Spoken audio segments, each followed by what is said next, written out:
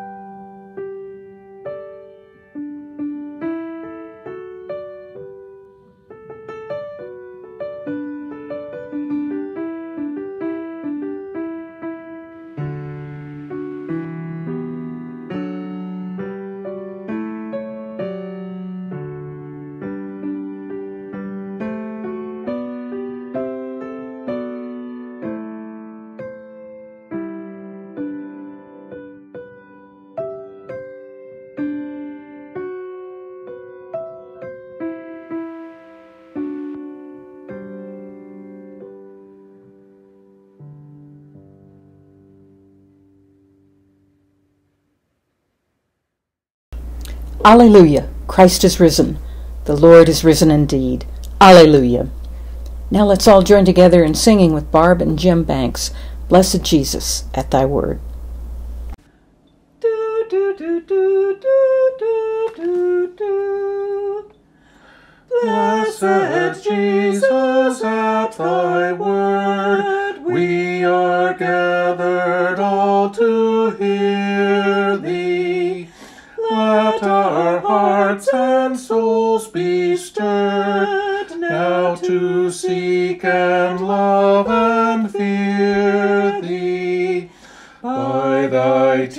teachings pure and holy, drawn from earth to love thee solely.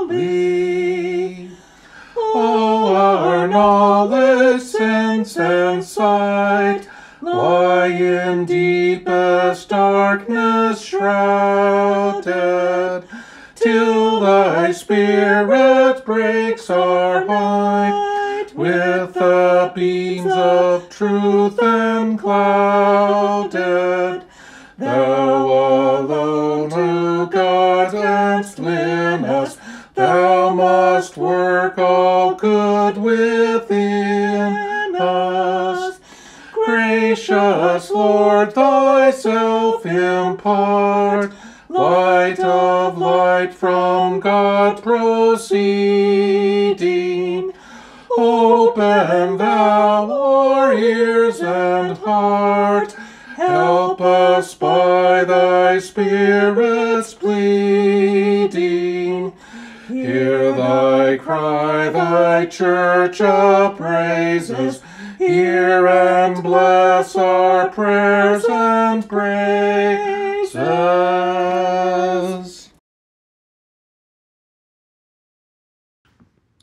Lord, open our lips, and our mouth shall proclaim your praise.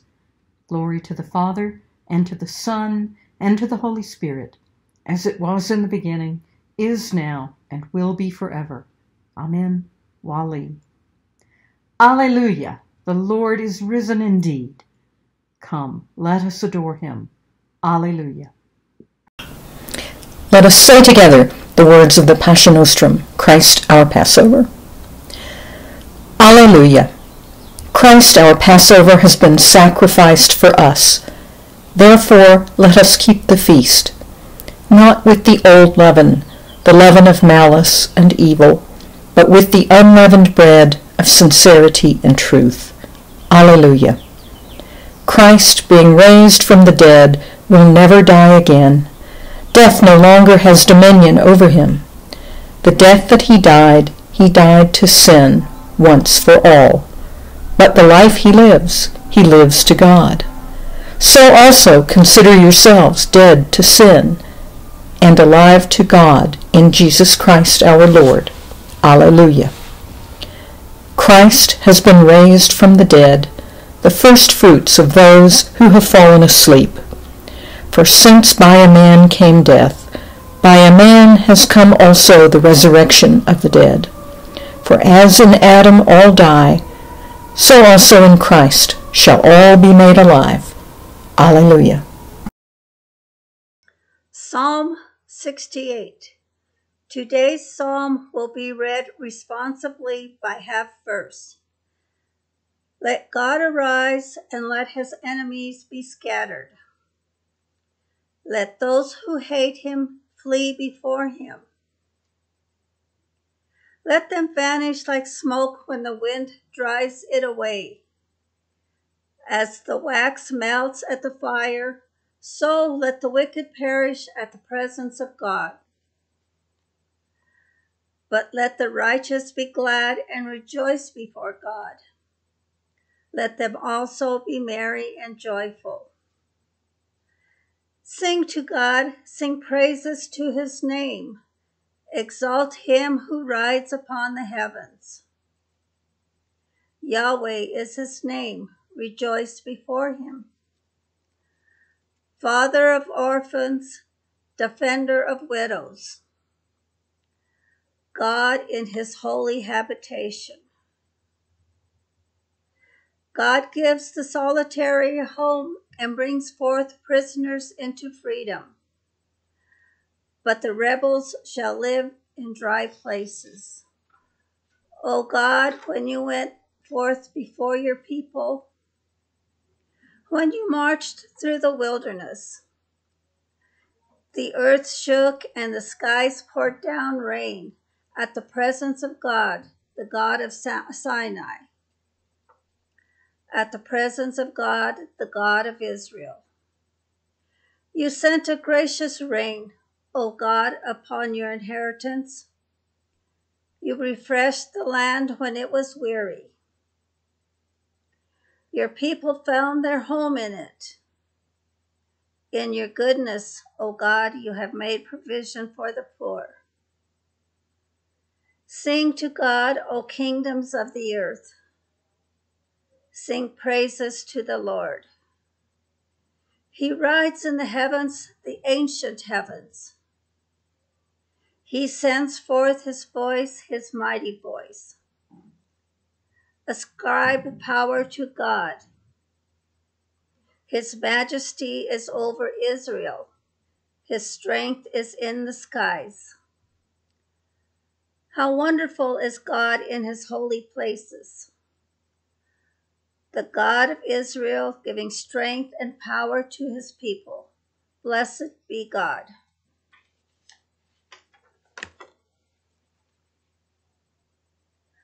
A reading from the Acts of the Apostles.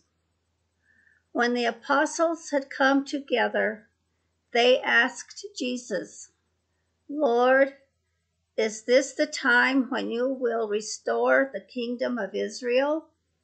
He replied, It is not for you to know the times or periods that the Father has set by his own authority.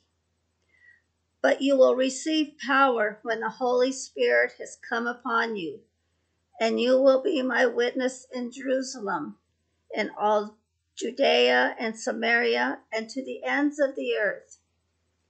When he had said this, as they were watching, he was lifted up, and a cloud took him up out of their sight. While he was going, and they were gazing up toward heaven, suddenly two men in white robes stood by them. They said, Men of Galilee, why do you stand looking up toward heaven? This Jesus, who has been taken up from you into heaven, will come in the same way as you saw him going to heaven. Then they returned to Jerusalem from the mount called Olivet, which is near Jerusalem, a Sabbath day journey away. When they had entered the city, they went to the room upstairs where they were staying. Peter and, John and James and Andrew, Philip and Thomas, Bartholomew and Matthew, James, son of Alphaeus, and Simon the Zealot, and Judas, son of James. All these were constantly devoting themselves to prayer, together with certain women, including Mary, the mother of Jesus, as well as his brothers. Here ends the reading. Let us say together Canticle 20, the Gloria. Glory to God in the highest, and peace to his people on earth. Lord God, Heavenly King, Almighty God and Father, we worship you, we give you thanks, we praise you for your glory. Lord Jesus Christ, only Son of the Father, Lord God, Lamb of God, you take away the sin of the world. Have mercy on us. You are seated at the right hand of the Father. Receive our prayer. For you alone are the Holy One. You alone are the Lord. You alone are the Most High, Jesus Christ, with the Holy Spirit, in the glory of God the Father. Amen. Wali. A reading from the first letter of Peter. Beloved, do not be surprised at the fiery ordeal that is taking place among you to test you, as though something strange were happening to you. But rejoice insofar as you are sharing Christ's sufferings so that you may also be glad and shout for joy when his glory is revealed. If you are reviled for the name of Christ, you are blessed, because the Spirit of glory, which is the Spirit of God, is resting on you. Humble yourselves, therefore, under the mighty hand of God, so that he may exalt you in due time. Cast all your anxiety on him, because he cares for you. Discipline yourselves. Keep alert. Like a roaring lion, your adversary, the devil, prowls around, looking for someone to devour. Resist him, steadfast in your faith, for you know that your brothers and sisters in all the world are undergoing the same kinds of suffering. And after you have suffered for a little while, the God of all grace, who has called you to his eternal glory in Christ, will himself restore, support, strengthen, and establish you. To him be the power forever and ever. Amen. Wali. Here ends the reading. Together, let us say Canticle D, a song of the wilderness. The wilderness and the dry land shall be glad the desert shall rejoice and blossom. It shall blossom abundantly and rejoice with joy and singing.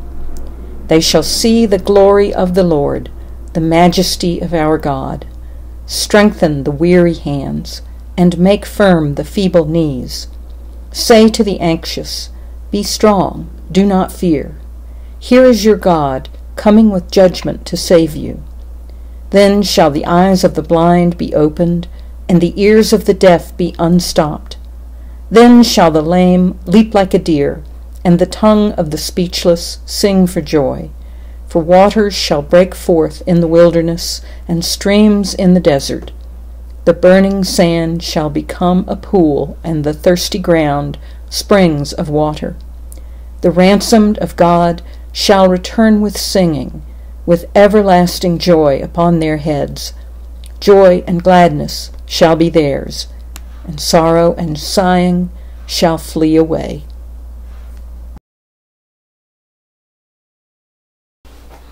The third reading is a lesson from the Gospel of John. Jesus looked up to heaven and said, Father, the hour has come. Glorify your Son, so that the Son may glorify you, since you have given him authority over all people, to give eternal life to all whom you have given him. And this is eternal life, that they may know you, the only true God, and Jesus Christ, whom you have sent. I glorified you on earth by finishing the work, the work that you gave me to do. So now, Father, glorify me in your own presence with the glory that I had in your presence before the world existed. I have made your name known to those whom you gave me from the world. They were yours, and you gave them to me, and they have kept your word. Now they know that everything you have given me is from you, for the words that you gave to me I have given to them, and they have received them, and know in truth that I came from you, and they have believed that you sent me. I'm asking on their behalf. I'm not asking on behalf of the world, but on behalf of those whom you gave me, because they are yours. All mine are yours, and yours are mine, and I have been glorified in them. And now I am no longer in the world, but they are in the world, and I am coming to you. Holy Father, protect them in your name that you have given me, so that they may be one, as we are one. Here ends the reading. Holy Spirit, come. Give life to my words. Bless each of us present today. The name of the Father, and of the Son, and of the Holy Spirit. Amen. Well, welcome to Memorial Day weekend 2025. Here we are at the traditional start of summer. Mm, I don't know about you, but I've certainly got a busy holiday weekend planned. I'm going to cookouts with friends later on. A bunch of us going to go to the movies. The Rockies are in town, so I may take in a ball game. And and of course, the church is packed. Rita and Shirley have a spectacular coffee hour planned for us later. I don't know how those two do it. They just don't ever seem to get old. Yeah, life is pretty much back to normal. In fact, in most ways, it's better than it used to be, back before that awful pandemic of 2020 changed everything. At first, it was terrible. You remember it was just bad news on top of bad news. There was all that illness death, followed by unemployment, bankruptcy, poverty. We weren't sure how we could endure it. But then, well, you remember. You remember what we did. That brings me back to Memorial Day because we don't want to forget the most important thing about Memorial Day. Our national observance of Memorial Day dates back to 1868 when General John A. Logan, Commander in Chief of the Grand Army of the Republic, named May 30th as a special day to honor the graves of Union soldiers. General Logan's orders stated that the day was, quote, designated for the purpose of strewing with flowers or otherwise decorating the graves of comrades who died in defense of their country during the late rebellion was also called Decoration Day. Maybe some of you remember it being referred to that way. Over time, we expanded the observance to include the remembrance of all those who sacrificed their lives in the service of our nation in any war. And then, since 9 11, we also began making significantly more mention of those who died in the line of duty in emergency services, including fire, police, first responders. And then in 2020, we began including all the healthcare providers who bravely went to work every day to care for those struggling with COVID 19, and the equally brave care providers in nursing homes and rehab facilities where the disease had just been brutal. Many of them paid with their lives, and so today we honor them too. It's a debt we can never repay. Likewise, we owe a debt of gratitude to the grocery store clerks, the delivery people, the meat packing plant workers, all those whose jobs were deemed essential but who didn't have the luxury of working safely from home. They, too, are worthy of our admiration and our praise on this Memorial Day 2025. Their sacrifice was no less than the sacrifice of those who gave their lives on a battlefield. But you know, in a larger sense, all of us, every single person who was on this planet five years ago, was locked in a very real battle. It was a battle that took so many lives. We may never know the actual toll because even now it's hard to know who died because they came down with COVID 19 or who died as a direct or indirect result of it. I guess we'll be sorting that out for years to come. But back in 2020, while people in some places were more at risk than others, there was no place that was really safe. We knew so little about the coronavirus then. There was no one on earth who could legitimately say, I don't have to worry about this. It affected all of us. I think that gives all the more poignancy to the words we heard this morning in the letter from Peter. Like a roaring lion, your adversary, the devil, prowls around looking for someone to devour. Resist him, steadfast in your faith, for you know that your brothers and sisters in all the world are undergoing the same kinds of suffering. Now, at the time he wrote this letter, sometime before his death in about the year 65, St. Peter wasn't speaking about a public health crisis per se. Instead, he was speaking to a community of believers who had suddenly and unexpectedly found itself caught up in a wave of persecution at the hands of the Emperor Nero. You see, in the year 64, there had been a great fire that had destroyed much of Rome. Now, popular legend holds that Nero fiddled while Rome burned. Whether Nero did or didn't start the fire, or respond appropriately to the crisis that came afterward, is open to debate. But what we do know is that he needed a way to create a diversion to deflect suspicion and criticism away from him. And the Christians were a handy scapegoat. Thus began the persecution that would continue off and on for the next 250 years, until another Roman emperor, Constantine, himself became a Christian, and the trajectory of Christianity was altered forever. But Peter was speaking to people who were suffering in ways they never imagined. They didn't know what to do, where to turn, or how to respond. Humble yourselves, Peter told them. Cast all your anxiety on God, because God cares for you. Be disciplined. Be alert. And remember that even though you're suffering now, this is an opportunity to share in Christ's suffering and eventually, this is going to pass. Christ Himself will restore, support, and strengthen you. Peter might as well have been speaking to us all back in 2020. Our world unexpectedly experienced a staggering level of death. Add to that the multitudes who lost their jobs, the children who lost critical time in the classroom, the billions of lives upended. For many people, it was the most difficult moment in their lives. And some crumbled in the face of so much suffering. Some started acting very foolishly, so focused on their own pain and loss that they gave no thought to the greater good.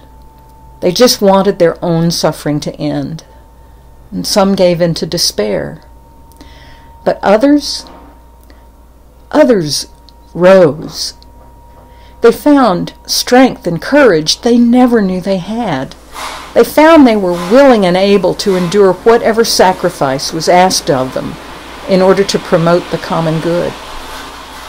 Dare I say it, I think it's what happened to most of us. I think that most of us held our own against that fiery ordeal, engaging in daily sacrificial acts to protect the world. Every time we put on a mask, hot and uncomfortable as it was, we joined Christ in his sacrifice. Every time we dug a little deeper in our pockets to help those in need, tipped the delivery person a little more generously, offered up a little bit more of our own resources to help those who'd been devastated, we joined with Christ in his sacrifice. Every time we humbled ourselves and sacrificed our own desires to serve the greater good, we joined with Christ in his sacrifice. And as we persevered in those dark times, we took our place in that long, glorious line of heroes that we honor this Memorial Day. Those who sacrificed themselves so that others would live, so that our nation and all the nations of the world could regain a sense of safety, a time of peace. So, this Memorial Day 2025, we salute those who put the welfare of others ahead of their own, who stepped forward and did their duty when the need was greatest. The God of grace, who has called us to his eternal glory, has never stopped restoring, supporting, and strengthening us. Remember, remember how we did it together. Amen.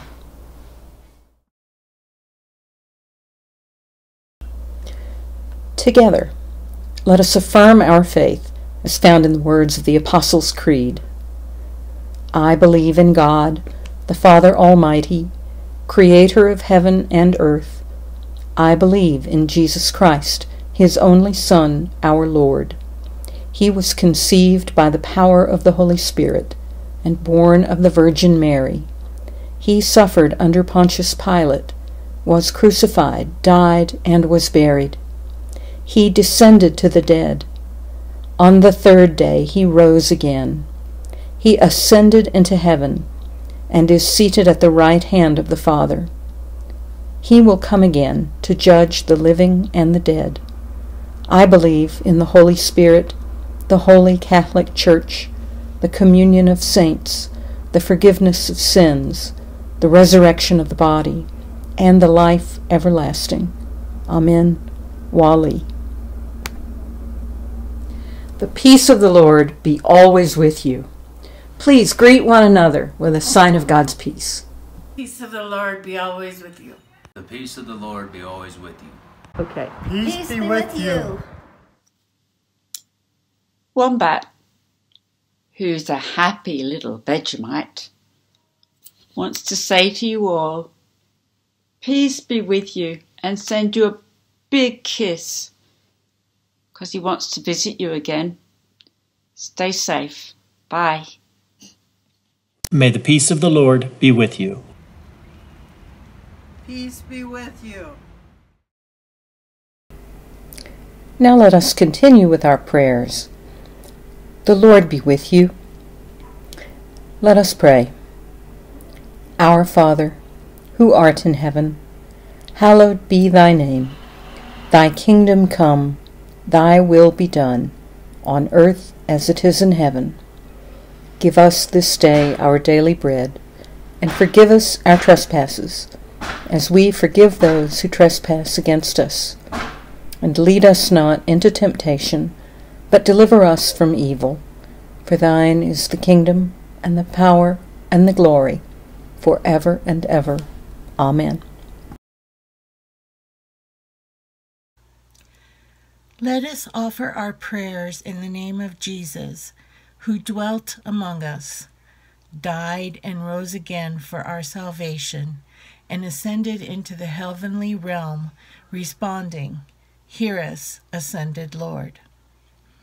That we may place our lives in the sacred heart of Jesus, who claims us in his own and reveals his glory through our lives. Let us pray. Hear us, ascended Lord that our hands may feed the poor and tend the sick, that we may create a church where all are welcomed, and where visitors are seen as blessings, and that we may ascend beyond the earthly hesitations to grasp the divine inspiration that is implanted uh, within us. Let us pray. Hear us, ascended Lord for those who fear the discovery of secret sins and the private guilt that has many names, that they may have confidence in the priestly gift of reconciliation, the courage to admit their shortcomings, and the greater courage to accept God's tender forgiveness. Let us pray. Hear us, ascended Lord. For an end to violence and abuse, and to all things that harm God's creation and rob humanity of, of its inherent dignity, let us pray. Hear us, ascended Lord. That Donald, our President, members of Congress, and those who sit on the Supreme Court may take seriously the authority invested in them, leaving part- partisanship behind and exercising leadership that best responds to the people of our nation and world. Let us pray. Hear us, ascended Lord. For those who have died and whom we commend to eternal life, remembering especially Luis Garcia, brother of Olga Davis, all those who have died while serving their country, the 323,000 people worldwide who have died in this pandemic. Let us pray. Hear us, ascended Lord. We pray for all affected by coronavirus in Colorado and throughout the world. We pray for the leaders of our states and of the nations that they may work together for the common good. We pray for those who are sick and those separated from loved ones. We pray for our healthcare workers, our first responders, and all those who put themselves in harm's way to provide care and needed services. We pray for scientists and researchers around the world as they combat the virus. Hear us, ascended Lord. We pray for the homeless, for those in prison, and for all those who find it difficult to find shelter or safe space. We pray for those who have lost their jobs and are filled with worry about how they will pay their bills or feed their families.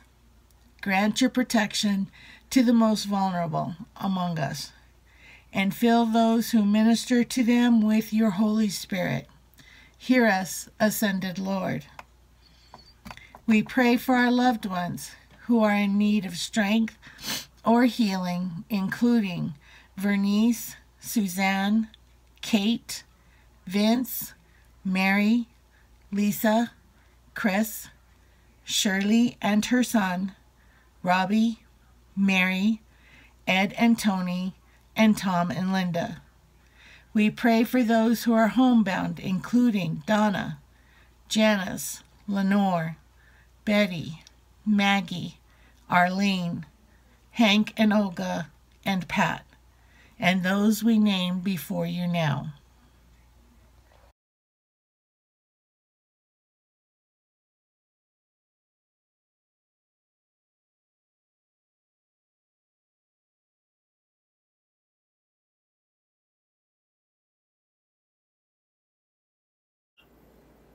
Almighty and eternal God, ruler of all things in heaven and on earth, mercifully accept the prayers of your people and strengthen us to do your will. Through Jesus Christ, our risen Lord. Amen. Wali.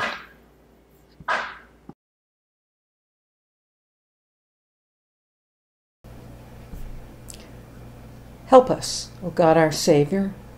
Deliver us and forgive us our sins. Look upon your congregation. Give to your people the blessing of peace. Declare your glory among the nations and your wonders among all peoples. Do not let the oppressed be shamed and turned away. Never forget the lives of your poor. Continue your loving kindness to those who know you, and your favor to those who are true of heart. Satisfy us by your loving kindness in the morning. So shall we rejoice and be glad all the days of our life. O God, the King of glory, You have exalted your only Son, Jesus Christ, with great triumph to your kingdom in heaven. Do not leave us comfortless, but send us your Holy Spirit to strengthen us and exalt us to that place where our Savior Christ has gone before us, who lives and reigns with you in the Holy Spirit, one God, in glory everlasting. Amen. Wali. God, the King of glory, in whose hands are the living and the dead, we give you thanks for all those who have laid down their lives in the service of our country. Grant them your mercy and the light of your presence.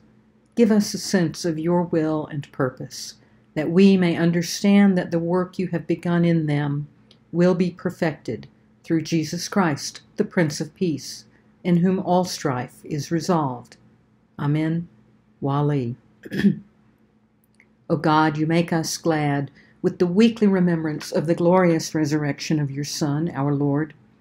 Give us this day such blessing through our worship of you, that the week to come may be spent in your favor. Through Jesus Christ our Lord. Amen. Wali. Lord Jesus Christ, you stretched out your arms of love on the hard wood of the cross, that everyone might come within the reach of your saving embrace. So clothe us in your Spirit that we, reaching forth our hands in love, may bring those who do not know you to the knowledge and love of you, for the honor of your name. Amen. Wali. And now let us say together the prayer of St. Chrysostom. Almighty God, you have given us grace at this time with one accord to make our common supplication to you and you have promised through the well beloved Son that when two or three are gathered together in his name, you will be in the midst of them. Fulfill now, O Lord, our desires and petitions as may be best for us, granting us in this world knowledge of your truth, and in the age to come, life everlasting. Amen. Wali. Now, once again, let's join with Barb and Jim as together we sing Jesus shall reign where'er the sun.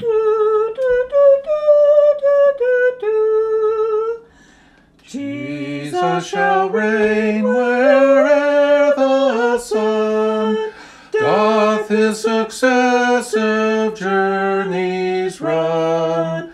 His kingdom stretch from shore to shore till moon shall wax and wane no more. To him shall endless prayer be made, and praises throng to crown his head. His name like sweet perfume shall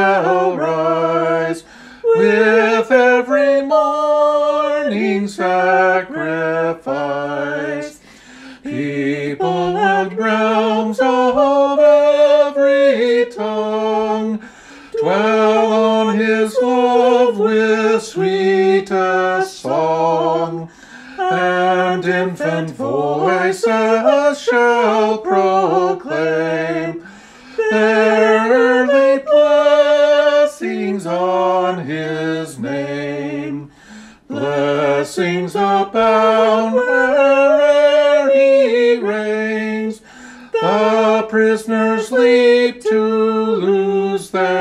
chains. The weary finding eternal rest, and all who suffer want are blessed. Let every creature arise and bring peculiar honors to our King. Angels descend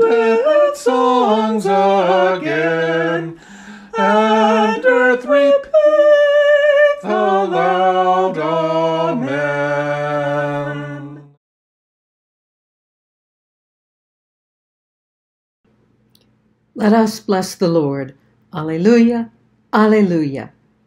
Thanks be to God. Alleluia, Alleluia.